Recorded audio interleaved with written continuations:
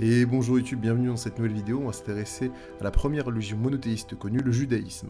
Le judaïsme naît lorsque les Hébreux, un peuple nomade du Proche-Orient, à la révélation du dieu Yahvé, qui forme une alliance avec ce peuple et leur promet une terre, le pays de Canaan, qui situe dans l'actuelle Palestine, en tout cas une partie. La religion juive se base sur la Bible hébraïque qui raconte l'histoire des Hébreux et fixe la loi donnée par le Dieu des Hébreux Yahvé. Premièrement, la Torah, mot signifiant loi en hébreu, prend en compte cinq livres de la Bible la Genèse, le commencement. On parle ici du début de l'histoire de l'humanité, de l'alliance de Dieu avec son peuple, d'Abraham et de ses descendants. Lors du second livre, l'Exode, on parle ici de la réduction d'esclavage en Égypte des descendants d'Abraham, ainsi que leur délivrance par Moïse qui les ramène à nouveau vers Canaan. Le Lévitique, les Nombres et le Deutéronome sont eux des livres qui organisent les lois, l'organisation de la religion, ainsi que la vie des Hébreux en général. En plus de cinq livres constituant la Torah, vous avez aussi les prophètes qui eux constituent un ensemble de huit livres. On parle ici des messagers des dieux qui vont parler en son nom. C'est l'histoire des Hébreux après l'installation en Canaan.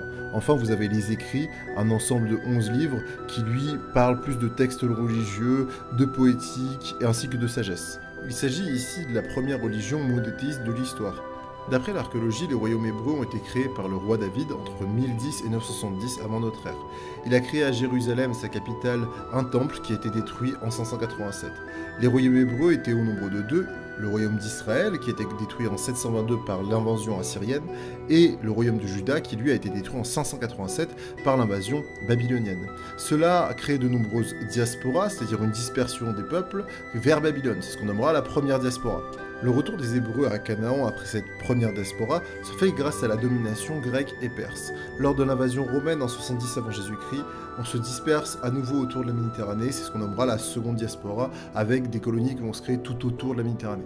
Jusqu'à aujourd'hui, les populations juives pratiquent et suivent les principes de la Bible hébraïque. On peut ici parler des dix commandements qui reconnaissent Yahvé comme le Dieu unique, qui font que le samedi les juifs ne travaillent pas, ou encore le fait d'honorer son père et sa mère, de ne pas commettre de meurtre, de ne pas voler ou de ne pas pratiquer l'adultère. En plus de ces dix commandements, vous avez aussi des principes religieux qui jouent sur l'alimentaire et aussi les interdits.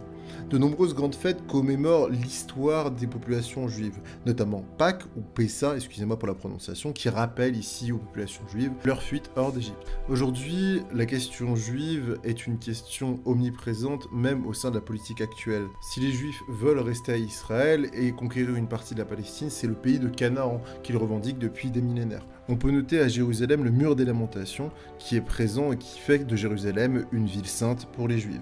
Il y a aussi de nombreuses synagogues qui sont présentes partout dans le monde. En 2015, on peut noter qu'il y a 14 millions de juifs dans le monde, dont 44% en Israël, 40% aux États-Unis et les 16% qui sont dans les autres pays. Voilà, j'espère que la vidéo vous a plu. N'hésitez pas à vous abonner si ce n'est pas déjà fait pour me soutenir, pour avoir plus de vidéos de ce format-là. N'hésitez pas à mettre un petit pouce bleu et à me dire si vous avez des questions dans les commentaires. Je me ferai un plaisir d'y répondre. La question juive est une question très importante, notamment aujourd'hui. C'est pour ça que je m'étalerai dans une prochaine vidéo un peu plus longue, beaucoup plus longue, sur la question juive actuelle. Mais pour l'instant, ici, on a vu un peu d'histoire sur le judaïsme et c'était très intéressant. En tout cas, je l'espère pour vous. C'est tout pour moi. C'était Malécus. Prenez soin de vous. Ciao